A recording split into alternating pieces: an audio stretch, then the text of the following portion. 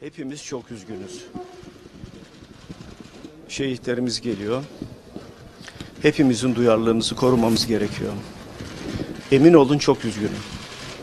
Olayı duyduğum andan itibaren ben ve arkadaşlarım neler yapabiliriz diye oturup konuşuyoruz. Daha şehitlerimiz toprağa verilmedi.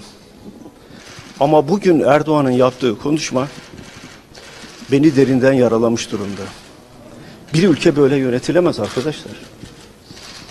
Ya cenazeler defnedilmeden bu nasıl bir konuşmadır? Daha cenazeler defnedilmeden, daha acılar yaralar sarılmadan bu nasıl kahkahadır? Emin olun ya biz Türkiye'yi yöneten insanları ya nasıl kabul edeceğiz bunlar? Neyin nesidir? Hangi amaçla yapıyorlar bunları? Derdi benim. Ya arkadaş benden ne istiyorsun sen? Yüreği yanık bir insanım. Şehitlerimiz var. Ya şu memlekete bir başsağlığı dileyelim. Ya acı günde bari işte ise kavga etmeyelim. Yaralarımızı saralım. Oturup düşünelim. Beraber düşünelim. Türkiye'yi bu acıdan, bu dertten nasıl kurtarabiliriz diye düşünelim. Bunların hiçbirisi yok arkadaşlar. Beni üzen bu.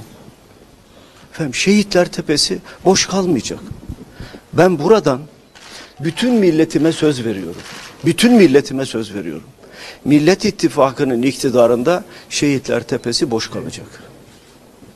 Hiçbir askerimizin tırnağına zarar gelmesini istemiyorum. Niçin oradayız diye defalarca söyledim. Yine söylüyorum. Yazık günah değil mi bu askerlerimize? Yazık günah değil mi? Ne için savaşıyorlar? Türkiye'nin başına bu belayı niye açtınız arkadaş siz ya? Ben bunları şimdi konuştuğum için çok üzgünüm. Gerçekten çok üzgünüm. Ya bari otur bir millete bir başsağlığı dileyin kardeşim ya. Bir başsağlığı dileyin ya. Bütün bunları atmışsınız bir kenara. Sanki olağan bir işmiş gibi. Bu meclis niye vardır arkadaşlar? Bu meclis niye var ya? Meclis toplansın. Gelip sayın Erdoğan meclisi açıklama yapsın. Niye gelmiyor buraya? Hangi gerekçeyle gelmiyor? Kendisine o yetkiyi verenin bu meclis olduğunu bilmiyor mu Sayın Erdoğan? Emin olun çok üzgünüm. Çok ama çok üzgünüm. Bütün vatandaşlarıma şunu söylemek isterim. Hepimizin başı sağ olsun. Kahraman ordumuzun bütün mensuplarını kucaklıyoruz. Onlar özveriyle bin bir sorun içinde görev yapıyorlar. Hayatlarını feda ediyorlar. Annelerin hangi acılar içinde olduğunu ben biliyorum. Çocukları orada olan annelerle ben konuşuyorum. Bana dertlerini anlatıyorlar. Dolayısıyla hiç kimsenin tırnağına zarar gelmesini istemeyiz.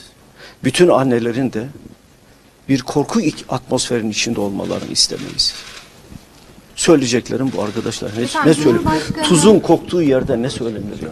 Teşekkür ederim. Aramadığınıza yönelik eleştirilere